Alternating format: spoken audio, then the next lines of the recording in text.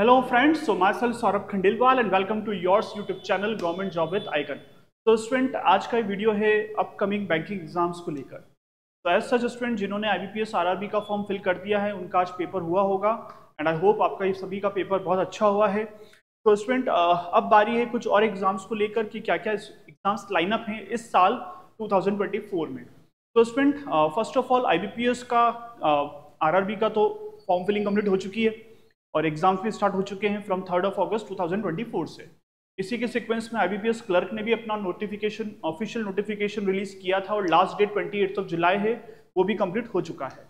तो स्टूडेंट किन किन एग्ज़ाम्स की बारी है कौन कौन से एग्ज़ाम्स आप फिल कर सकते हैं, उसको फटाफट से आज के इस वीडियो में हम लोग कवर करेंगे स्टूडेंट्स तो पहला जो एग्ज़ाम हम आपके सामने डिस्कस करना चाह रहे हैं स्टूडेंट वो है आरबीआई को लेकर। RBI is all about the Reserve Bank of India so student ये एक ईयरली वैकेंसी है. हर साल ये वैकेंसी निकलती है.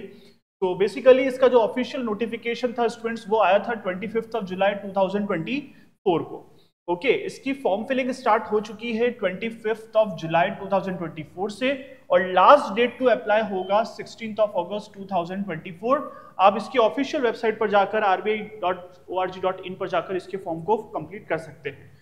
तो स्टूडेंट इस पर्टिकुलर एग्ज़ाम की क्या इंपॉर्टेंट डेट्स हैं, उसको भी एक बार फटाफट से देख लेते हैं।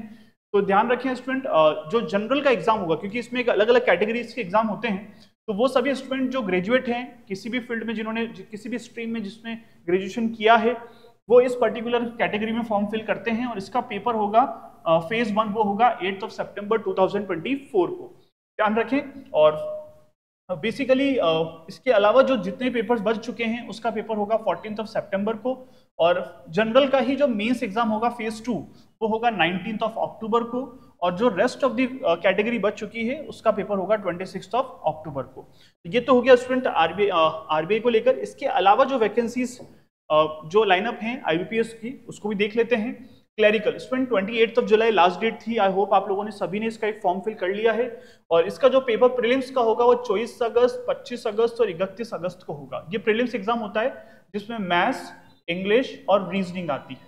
ओके okay, इसी का मेन्स होगा थर्टीन ऑफ़ अक्टूबर को. इसके बाद पीओ की भी वैकेंसी निकल चुकी है.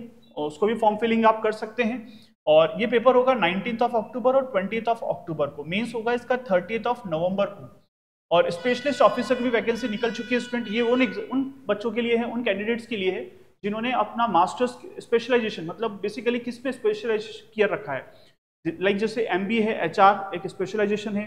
M in finance human resource उसके अलावा अगर किसी ने आईटी में स्पेशलाइजेशन कर रखा हो B C M C A BTech कर रखा हो एग्रीकल्चर में हो लीगल हो लॉ हो, ये सब स्पेशलाइजेशन कहलाता है। तो इसकी भी वैकेंसी आईबीपीएस निकालता है। ये पेपर होगा नाइन्थ ऑफ़ नवंबर को और इसका मेंस कंडक्ट किया जाएगा फोर्टीन ऑफ़ दिसंबर को। तो ये तो होगा स्टूडेंट आईबीपीएस की वैकेंसी इसके अलावा एक वैकेंसी और निकली हुई है, जिसे हम कहते हैं नाबार्ड। नाबार्ड स्टूडेंट ये भी एक एनुअल वैकेंसी है national bank for agriculture and rural development को लेकर।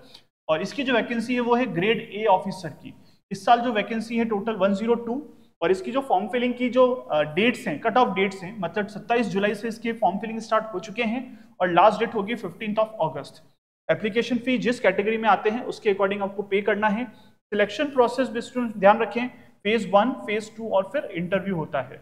और एप्लीकेशन मोड ध्यान रखें स्टूडेंट पेपर भी ऑनलाइन होगा एप्लीकेशन का जो मोड है फॉर्म फिलिंग का, वो भी ऑनलाइन ही कंडक्ट किया जाता है।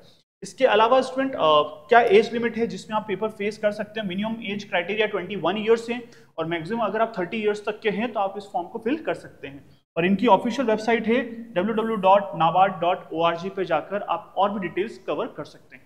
तो ये है आज का वीडियो सो स्टूडेंट आपको कैसा लगा?